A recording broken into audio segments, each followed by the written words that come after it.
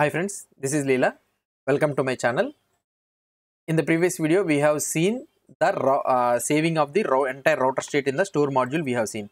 So now in the in the previous video, what we have seen, we have seen the entire state has been stored in the router module. We have seen. Now, if you want to get the details, so for example, if you if I log in here, test at the rate test.com one two three four five six. If I try to log in here, and if I go to the post page and in the update, here you will be able to see the router param. If I want to get this router param, what I need to do? I need to traverse into the route. So this is the router.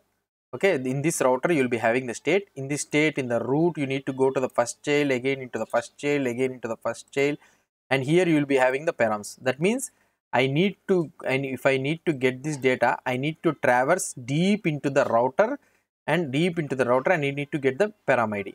So this could be a tedious thing. And also this and also saving of entire this router data in the row in the store is also not a good idea. This will raise into a performance issue. If you are having big big application big complex application if you are maintain if you are having so much of store data and the router state itself will have so much of data again. Why? Because the angular router state will ships with lots of data in this one. So saving that entire data in the in the store is not a good idea. It will raise into a performance issue. So for that reason whatever the data is necessary for our application so if we save that much of data in our router state, it will be a good idea. So what is the data that is uh, mostly useful for us?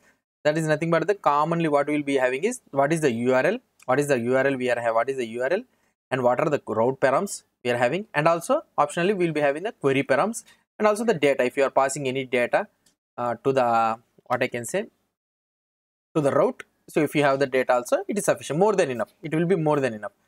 So commonly what we will try, what we will do is so um, uh, URL, route params and the query params is the common data what we will be trying to save. So now what we will try to do in this video is we will try to save this only these three data into this router thing so that we the router store will be very minimal. Now let's try to do this one. So here if we want to do this one what we need to do is first we need to create a separate file. So we can name it as custom serializer. So this is nothing but this serializer. So we are maintaining the serialized data. If you try to see here, here serializer. However, router snapshot is serializer. Defaults to router defaults to default route state serializer. Default route state serializer is nothing but the entire router state. So now if you if you want to serialize the data, so if you want to serialize your custom data, you can also serialize that one. So now here they have given the the file how the custom serializer will, will be there. So let's try to create the custom serializer and here I will create one interface. Okay, I will create one interface. Let's create the interface here. Interface router state URL. Okay, and here you will be having the URL of type string, and here you will be having the params of type params. Okay, and here you will be having the query params of type params. Okay. So these are the two things. So now if I try to see the params here, I can import these params thing. So these are the three things which I need to, which I would like to save it in the router state. Now let's create a class, export class, custom, what could be the name, custom serializer. So it should implement, implements router state serializer. Okay. So we need to pass the blueprint. So what are the route uh, data you want to save you need to do it. Router state url okay? So this forces us to this interface forces us to implement a method that is nothing but the serialize method. So if you go here and implement here serialize method. And this serialize method the output should be router state url object.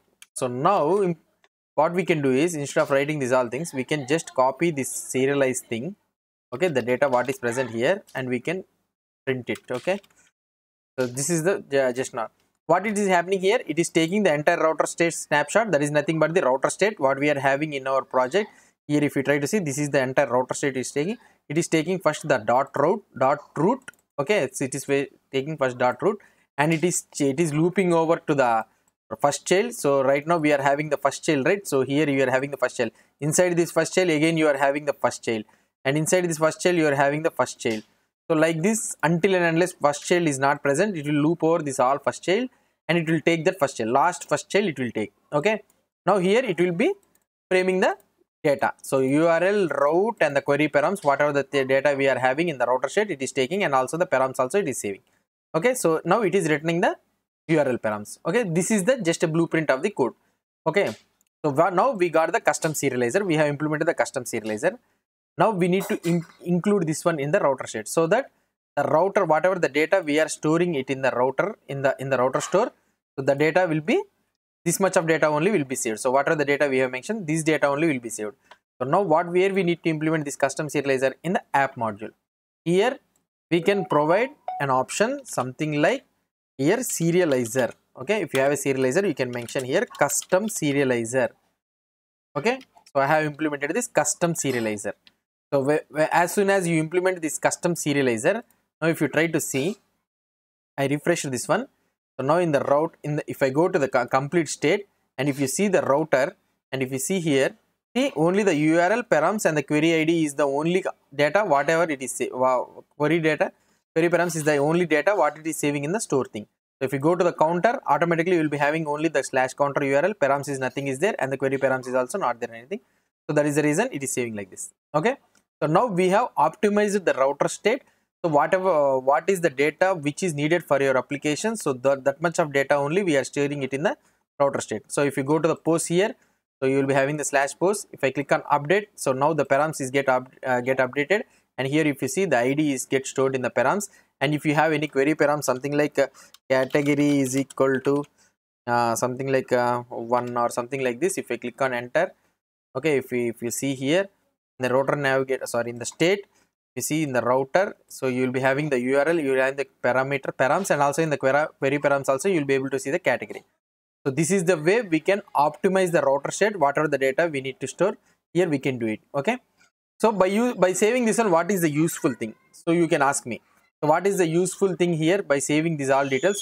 What is the thing that i can do? So now what is the thing that we can do is so now the components if you go here and if you see the edit post okay edit post is the guy who is taking care of the routing thing. If you see here activated route and the store what we are trying to do here in the store what we are doing we are trying to get the route. So that means we are trying to get the parameter. What is the parameter present in the route we are trying to get the data. And this parameter we are trying to send it to the store. Okay we are trying to send it to the store so now that means the component what is the component is doing first it is getting the route from the router and it is uh, again accessing the store and it is sending that routing to the store.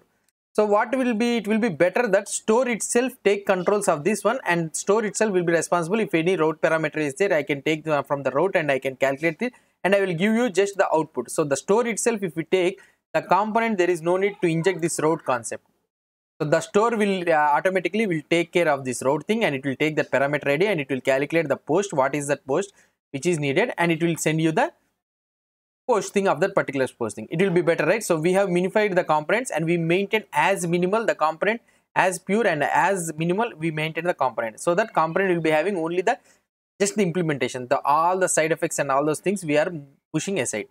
Okay? We'll try to see that one how we can do that one in the next video. Okay if you have any doubts or any suggestions please post the comments below to this video. And if you like this video please do support me by subscribing to my channel. Thank you